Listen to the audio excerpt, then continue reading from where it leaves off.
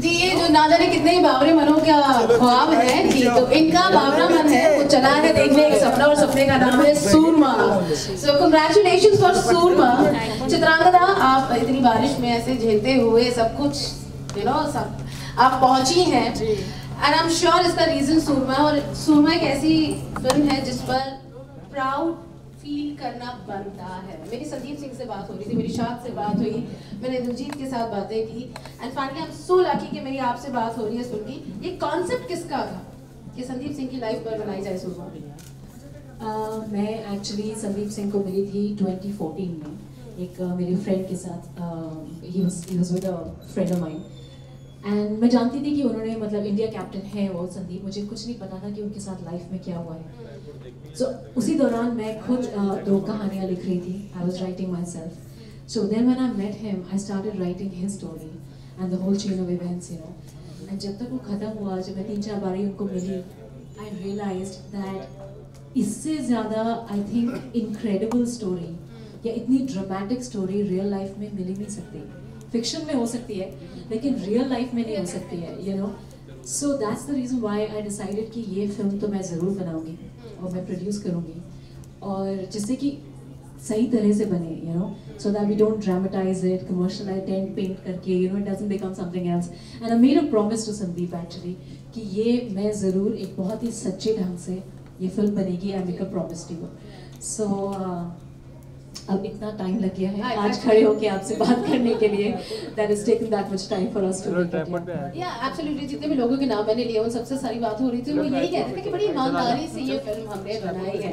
I mean when is the right person and if I like ask you कि on screen की अगर मैं बात करूँ तो ऑन स्क्रीन कौन सा इमोशन जीना आपके लिए इजी और कौन सा मुश्किल? है अगेन आई थिंक जो रियल लाइफ में होता है वो उस पे भी होता है कि to to act like you're in love with somebody is the easiest thing to do लेकिन आई थिंक किसी को हंसाना और वो जो एक मज़ाक वो जो एक कॉमिक टाइमिंग होनी चाहिए आई थिंक सबसे मुश्किल करना वो है कि हाँ क्योंकि आप मतलब यहाँ पे आप कुछ कर रहे हैं और वो एक आदमी जो अकेला अंधेरे कमरे में बैठा हुआ है to make that person laugh you know you, you don't know कि किस मूड में है कहाँ पर है to manage to connect through comedy I think is the most difficult thing.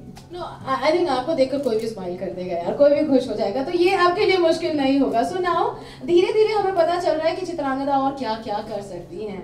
Actor है प्रोड्यूसर है राइटर है। कुछ और ऐसा है सरप्राइज़ जो छुपा हुआ है जो मे बी एक दो साल में पता चलेगा? अभी के लिए इतना ही। अभी के लिए अभी अभी कुछ नहीं और सोचा। यही बहुत है actually very very anxious I मतलब दो दिन में फ़िल्म रिलीज़ है। सो अभी तक तो अभी कोई मतलब एपेटाइट नहीं है किसी और चीज़ के लिए। So this is it but all the all the very best film बहुत प्रॉमिसिंग लग रही है एंड आई एम श्योर मैं दुआ करूँगी कि ये फ़िल्म लोगों को पसंद आए। जी। थैंक यू सो मच एक एक चीज़ है कि जैसी खुशी आप सोनमा के साथ होती तब जुलाई लोगों को लेना चाहते हैं। बिल्कुल वैसी ही खुशी मैंने अपने शो पर शुरू की है। मेरे शो का नाम है खुशियों का लंच बॉक्स तो उसमें मैं ढेर सारी चीज़ें I talk about food I talk about travelling health fitness you know well being तो ये एक पूरा लंच बॉक्स तैयार करके मैं शो पर देती हूँ तो ये एक छोटा सा खुशियों का lunch box for you. Yeah, thank you. Thank you so much. So talking Thank खुशी आप क्या कहेंगी? What is happiness? क्या है खुशी आपके लिए? हैप्पीनेस आई थिंक इज़ जहाँ पे आई थिंक कभी आप अगर कोई विश uh, करते हो कोई छोटी सी कभी या कोई एक ड्रीम होता है छोटा सा यू नो कि यार ऐसा कुछ हो जाए तो। And if that somehow somewhere comes true like for me I think Soorma today I think that kind of happiness when you don't think it will happen you know जब आप expect नहीं करते कि ऐसा कुछ होगा ऐसा मतलब it all come together someday and it comes together I think that is is joy. It's more than happiness. Yeah. तो इनका खुशियों का लंच बॉक्स है सूरमा जो फ़िल्म आपकी भी खुशी है थर्टीन ऑफ़ जुलाई ज़रूर जाइएगा इसे देखने के लिए। बाकी अगर आप लोगों के पास कोई सवाल है सो आप पूछ सकते हैं। Thank you so much Chitrangada Thank Lovely you, meeting and thank you. for your little lunchbox. Thank you. Thank you. Yeah. ओ ओ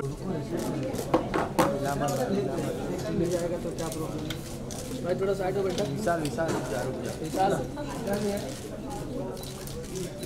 I think इतना time लग जाता है to put it together. So that's the reason why you get so much more anxious.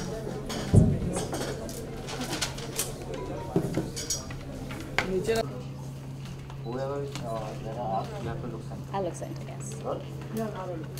Chitranga इतनी बारिश है तो भी आप अपनी पिक्चर की प्रमोशन के लिए आए, इससे मालूम पड़ता है कि कितने करीब है आप सोमवार के लिए। बहुत ज़्यादा करीब है और अब इतने साल अगर हमने मेहनत करी है तो आज की बारिश का तो खैर कोई वो नहीं है।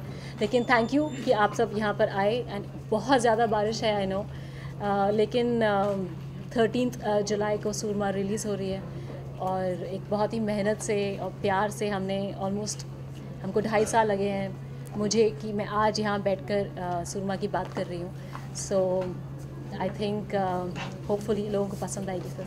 ढाई साल की मेहनत और सिर्फ़ दो दिन बाकी यस सॉरी डेट भी एकदम चुना थर्टीन जुलाई। तेरह एंड थर्टीन मतलब फ्राइडे द थर्टीनथ इट्स थोड़ा सा कुछ ऐसे बहुत सारी कोइंसिडेंसेस लग रहे हैं। लेकिन uh, एक एक एक सच्ची कहानी है। एक uh, एक तरह से जो रियल लाइफ में जो हमारे हीरोज़ हैं उनको हम एक्नॉलेज कर रहे हैं। संदीप सिंह एक रियल लाइफ हीरो हैं। तो आज तक क्या होता है कि हम जो एक एस्पिरेशनल वैल्यू जो हम स्क्रीन पर देखते हैं उनकी होती है हीरोज़ की जो फिक्शनल है जो लिखा जाता है। लेकिन ये सच में एक लाइफ इसने एक बहुत ही ड्रामेटिक लाइफ जी है कि आदमी को गोली लगती है और फिर वो वापस खड़ा होकर इंडिया का कैप्टन बनता है। सो so, एक बहुत ही इंस्पिरेशनल कहानी है। मुझे बहुत इंस्पायरिंग लगी थी। So I everybody no, You so also, you also can come with a, like you know like a Bollywood define as a uh, item song or a dramatic or romantic.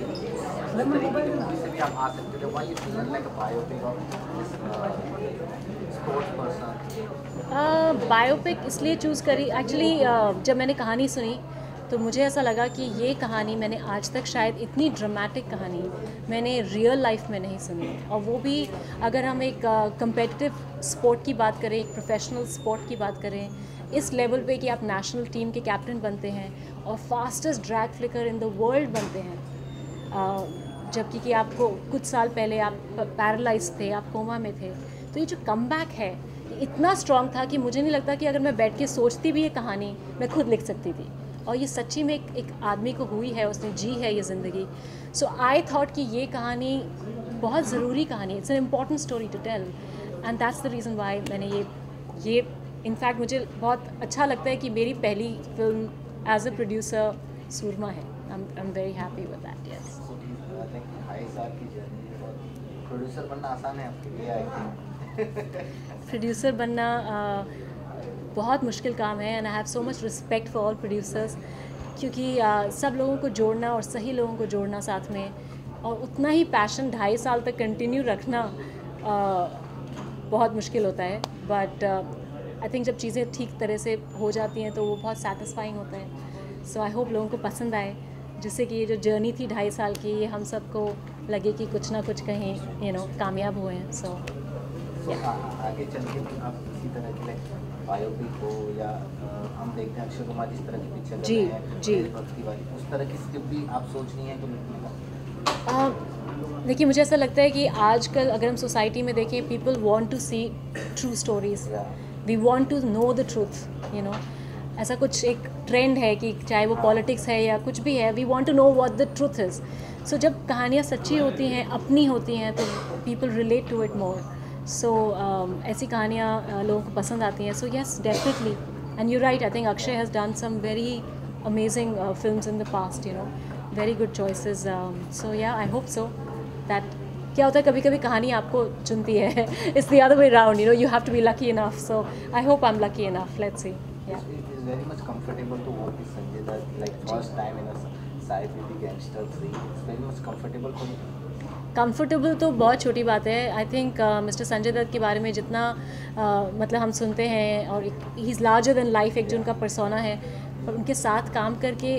इतना comfortable लगा it felt like home literally वो इतने इतने simple and इतने how you say बहुत ही modest and humble हैं.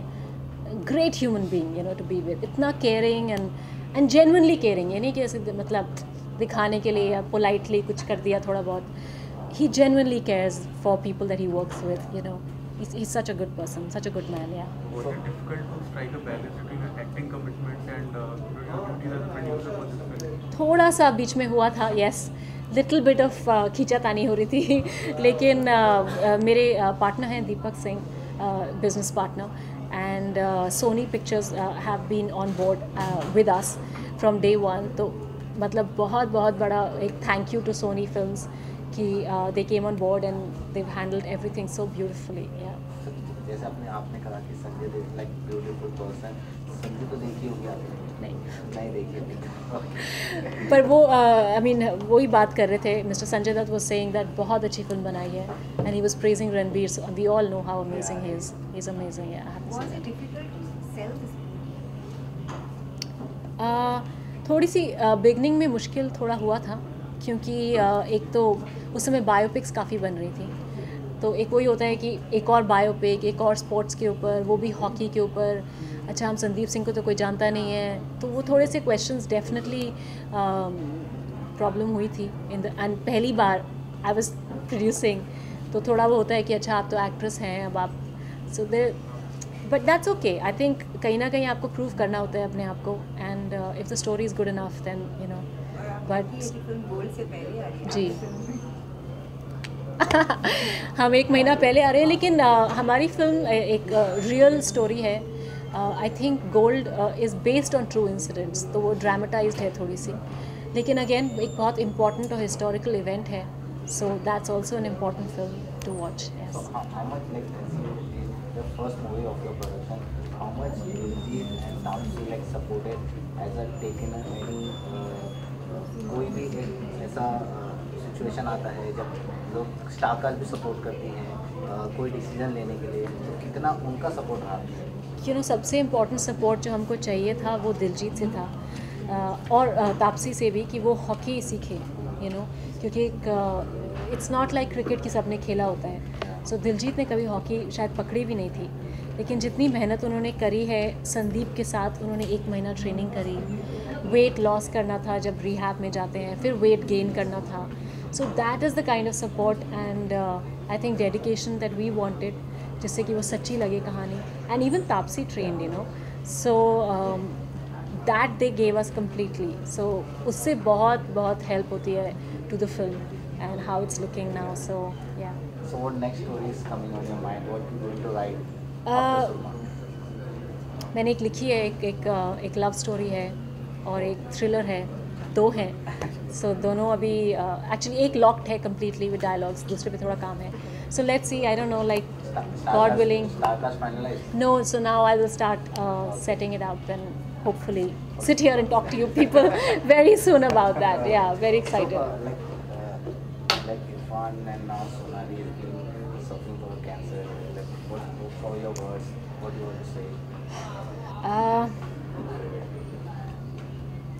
I know जब मुझे सोनाली के बारे में पता चला इट्स आई डोंट नो मतलब कोई क्या कहे बस ऐसा ही लगता है कि सडनली आपको लगता है कि यार आप इतना भाग दौड़ रहे हैं इतना सब कुछ कर रहे हैं लेकिन एवरीथिंग इज़ अबाउट ऐसे ही like everything can just you know vanish so I I there's such amazing people dono you know sonali and irfan. I worked with irfan. It's so so talented. So i i just pray to god ki uh, give them strength give their family the strength you know to to go through it. Nahi i think i've seen miracles in my family also. There've been some people who've struggled with cancer. Sometimes miracles happen. So you know i hope to god that there's some miracles Thank you so much. And wish you all the best for the thank you. Thank you so much. Thank you. Unicorn, Unicorn, right?